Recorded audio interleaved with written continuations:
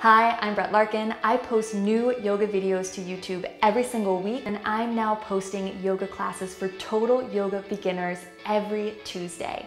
So if you're new to yoga or interested in learning, make sure to like and hit subscribe. So Murray, I'm gonna show you this, and I know you've seen me do it in my yep. videos on YouTube, but this is a really critical movement that you're gonna see in so many yoga classes, lubricates the spine, it's an essential one to have a proper understanding of.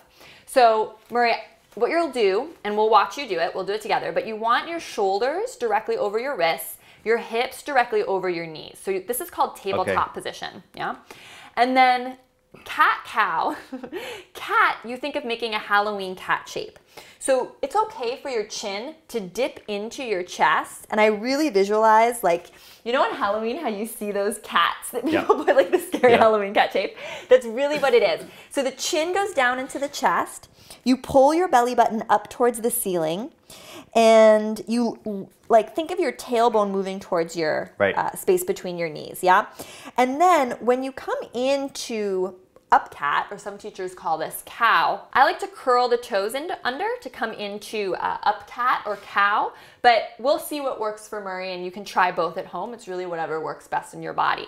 So we go from this deep rounding to arching across now the upper back. So the toes can curl under. This is the piece that everyone misses is that your belly button, your navel is still pulling up towards the ceiling so your abs are hugging in and engaged even as you open across the chest. So you don't want to just let your abs go and be like booty, booty sticking out, right? It's like the abs are contained here. And then they're contained even more um, as we come into the Halloween cat shape. So coming out of our Halloween cat shape, we keep that core engagement. And then we'll see in Murray's body, but it's helpful to maybe micro bend the elbows so you pull the abs in even as you're opening across the chest. And this is the other thing I see everyone do is that they throw their head back, right? They want to try to arch more in the upper chest by throwing their head back in space. And that can actually really damage your neck. So you want to just keep the head in line with the rest of the spine. So let's take a look for Murray. I set this blanket down because I think for a lot of beginners, having a blanket under your knees is critical to just protect your knees to make the postures feel safer. So we just grabbed this from his couch. Murray, why don't you come on in? Okay. So knees on the blanket, and then your hips are directly over your knees and your shoulders are directly over your wrists. Let's take a look at his hands, because remember, in yoga, we always work from the ground up. So we're focusing on our foundation first. I want him to spread his fingers really wide and press down through the index finger, knuckle, and thumb particularly. Okay. Right? Okay, yep. so that's gonna help you feel a lot stronger. So let's come into the rounding uh, Halloween cat shape first. And should my feet be up or down now? Oh, so great question.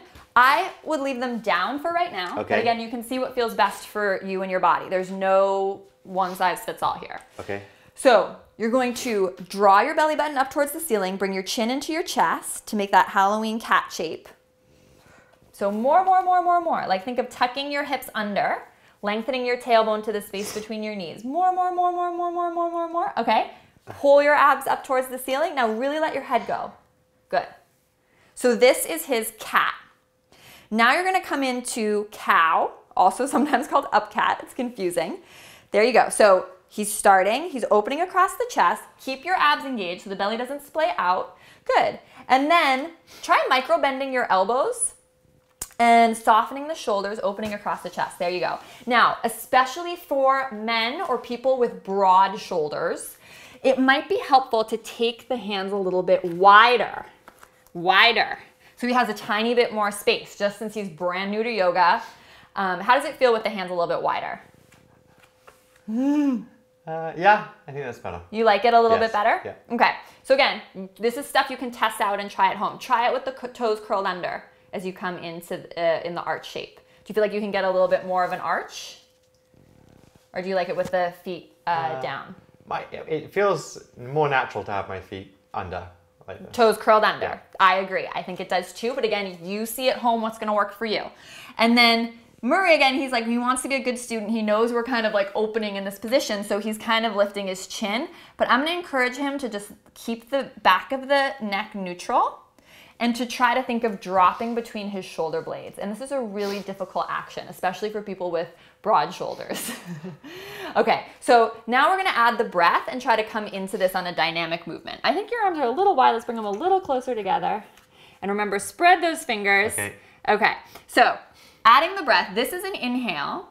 And an exhale is gonna happen when you look at your belly button and come into the Halloween cat shape, okay? Okay. So breathe out, breathe out, breathe out, and here we go. Now, breathe in and arch the upper back. There we go. Okay, let's do it a couple more times. So exhale, draw the abs up and in. Yep, he's finding the motion in his hips. Good. Inhale, keep your abs lightly engaged, but draw your shoulder blades down your back. Micro bend the elbows. There you go. You're opening across the chest. Beautiful. Couple more. Exhale, deeply, deeply round. Pull the navel up towards the sky. Inhale, open, broaden across the chest. Think collarbones and shoulder heads back. That's good. Nice. And exhale once again to round. Now, what questions do you have here? Because I'm sure your questions are the same ones people have at home who are trying this. And you can come out of the pose now if you want. so it's hard to. I'm now thinking about several different things at, at once, so you're Yes. trying to get all of that right. And as, as you, you're right. As you as you go up, Mm-hmm. then it's so natural to just put your head up to the ceiling, and it's so hard not to do that because you feel like yes. that's what you should be doing. Yes. That's the that's the real that's the challenge with that. Yeah. So you at home, be mindful of that, right? You're gonna wanna lift the chin, resist that urge. I know it's so hard. I've been there and he feels it too. But really, what we want in that up cat shape is for the chest to open. And by throwing your chin up, you really can seriously damage your neck and cause more neck pain and strain, which is obviously not why you're interested in yoga. Uh, Any other observations? What about when you did the Halloween cat shape? That one I think is a little bit easier. yeah, because it's, it's just taking it, but you don't then you don't know should you be moving your hips or not, or should you your hips be still? What should be happening at the, the the back end Yes. while you're doing the front? But end. you did a really good job, and hopefully it will we'll see it in the video. Like you really started figuring out how your Yeah. hips kind of wiggle back and forth. wiggle yeah. back and forth. Yeah. Yeah. Okay, great job. Thank you. Hey, if you like this video, you are going to love my free Pure Beginner Master the Basics yoga class.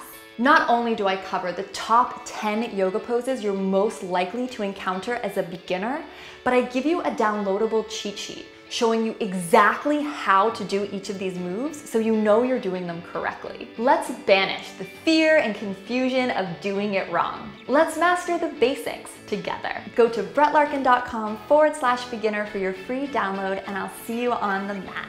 Namaste.